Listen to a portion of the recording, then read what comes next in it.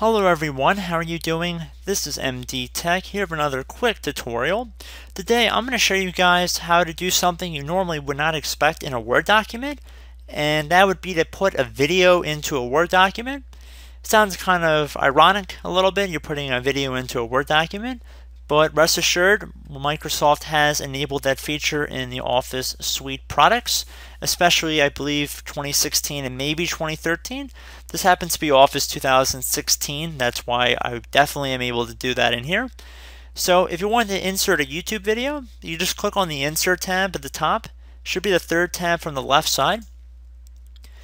And then right above Media, there should be something that says Online Video. You want to left click on that and now you could search Bing Videos. You could insert it from a video embedded code. You could also search YouTube. So let's search MD Tech videos and let's see what comes up. Now it should be implied that you're going to need internet access in order to use this functionality. So let's just select one of MD Tech videos, great videos. So I'm going to select how to fix Windows 10 startup problems. I believe if you had a URL, you could just search that for that as well. So I'm going to insert that into the document here.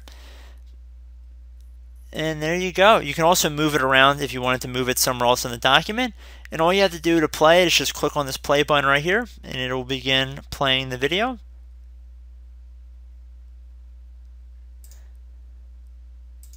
So please note, I believe you're going to need to have internet access in order to play it because it looks like it's playing from the YouTube player.